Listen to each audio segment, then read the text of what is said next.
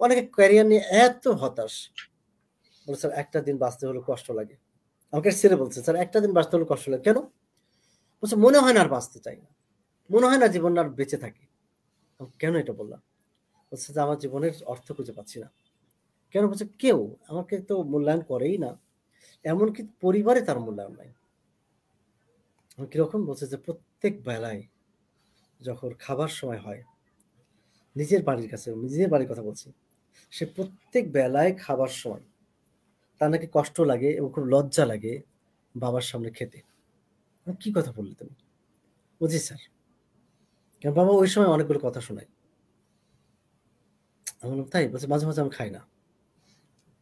আমাকে বলছে, স্যার, মাঝে মাঝে আমি খাই না। এই জন্য খাই না যে, বাবা, ওই সময় একটু বেশ কিছু কথা বলে থাকে। তুমি এখন কিছু করতে পারো না। তুমি কোথাও চাকরি পাচ্ছ না। তুমি এটা করতে পারছ না, ওটা করতে পারছ না। আমাদের ফ্যামিলিতে অনেক সমস্যা। অভাব, অনটন অনেক কথা বলে। এইটার জন্য আবার এ বলে যে অনেক দিন পেট ভরে খাই না।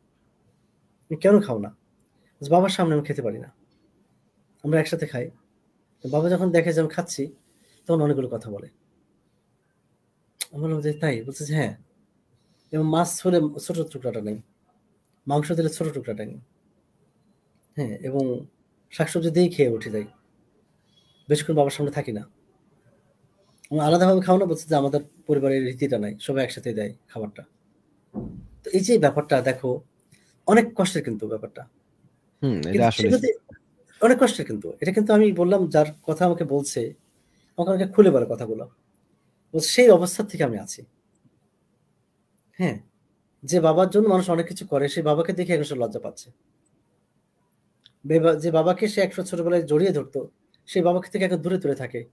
হ্যাঁ ঘরের এক কোণে থাকে। আর বন্ধু বান্ধবের সাথে থাকে। যখন আসে তখন মনে হয় যে আবার বাবা হয়তো কিছু বলবে। হ্যাঁ মাঝে মাঝে ক্ষুধা থাকলেও বলে যে ক্ষুধা নেই। এ কথা বলে। এই যে ব্যাপারটাতে তখন আমি দেখলাম যে ও কি পাস? দেখলাম যে ও তো আসলে অনার্স পাস করেছে। চাকরি পাচ্ছে না। চাকরি কেন তোমাকে অপেক্ষা করতে হবে? তুমি কেন একটা লেভেল ওয়ান টু করছ না? কেন তুমি আইএলটিএস করছ না? কেন তুমি ফ্রিল্যান্সিং করছ না? তুমি ঘরে বসে তো ইনকাম করতে পারছ।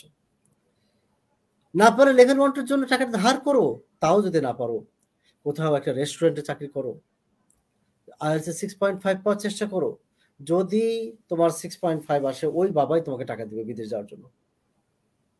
কিন্তু এখন যোগ্যতা অর্জন করনি, বাবা তোমাকে দিচ্ছে না।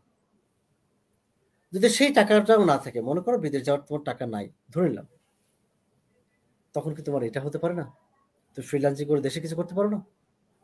এত মানুষ করছে।